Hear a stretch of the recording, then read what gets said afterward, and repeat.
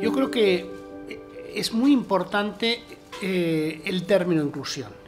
En él confluyen muchos de los elementos que yo creo que tienen que inspirar las políticas públicas crecientemente en adelante.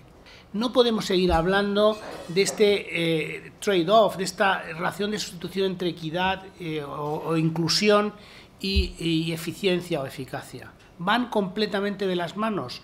Las sociedades más cohesionadas, las sociedades que, comparten valores y principios de una forma mucho más transversal, funcionan mucho mejor. Hay que introducir el elemento de inclusión y de cohesión social de una forma rotunda y permanente en todo el diseño de las políticas públicas en todos los niveles de la Administración. El otro círculo vicioso tiene que ver con la precariedad salarial durante, con la reforma anterior y con un modelo, pensábamos que teníamos que competir con salarios bajos.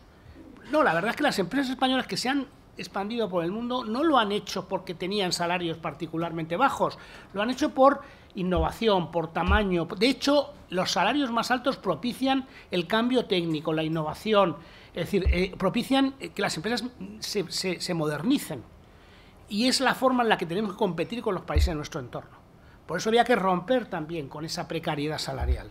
España tiene un problema, un problema serio, o tiene, que estamos corrigiendo, un problema de desigualdad de renta, particularmente además en la parte de, los deciles de renta más bajos, es decir, en la parte, digamos, lo que llamamos pobreza severa, pobreza extrema, etc. ¿Cuándo emerge esa diferencia donde aparece España muy destacado? Después de la actuación de las políticas públicas. Lo, lo que quiere decir que las políticas públicas son insuficientes y, probablemente estén mal diseñadas. Por eso, en España era muy importante desarrollar una prestación estatal eh, como el ingreso mínimo vital, que es una de las prestaciones que más inciden sobre la eh, pobreza extrema.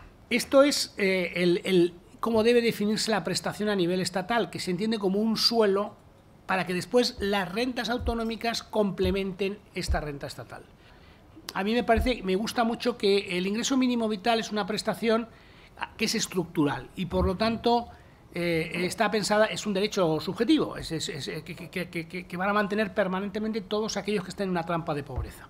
El éxito de la prestación es que las personas dejen la prestación, que salgan de la, trampa de pobreza, cosa que es muy difícil y ahí tenemos que eh, trabajar todos. España tiene un reto hacia adelante enorme como resultado del envejecimiento de la población y tenemos que propiciar mecanismos de migración ordenada, segura y regular que se ajuste bien a nuestras necesidades. En España tiene una ley orgánica de extranjería que es del año 2001, cuando prácticamente no había casi migrantes en España, con una aproximación muy particular. Una anomalía que teníamos en España es que los menores no acompañados y los jóvenes tutelados tenían enormes dificultades de acceso al mercado de trabajo y a la regularidad y al vivir en, condiciones equiparables con los españoles o con otros que no fueran, eh, que, que, estuvieran otros modelos de tutela. Que un porcentaje altísimo de los jóvenes estutelados en la ya estén trabajando, estén integrados, se integren en la sociedad. Y ahora estamos embarcados en una reforma del reglamento de extranjería mucho más extensa que lo que intenta es eh, eh, pues también solucionar problemas que estaban pendientes. Por un lado, facilitar mecanismos de inmigración regular circular, a mí el, modelo de, inmigración circular es un modelo que tiene mucho sentido. Nosotros tenemos cierta experiencia con, Marruecos, pero queremos generalizarlo, por ejemplo, con Latinoamérica, donde tengo muchas peticiones, pero hay que afinar muchas cosas normativas. En la medida que económicamente se los números y pueda pasar en, en España periodos significativos, porque tenemos mucha economía estacional, no solamente en agricultura, sino en servicios, etcétera, y después pase otros periodos con su familia, si esto lo hacemos de una forma ordenada y buena, tenemos un potencial enorme de desarrollo de este modelo de migración.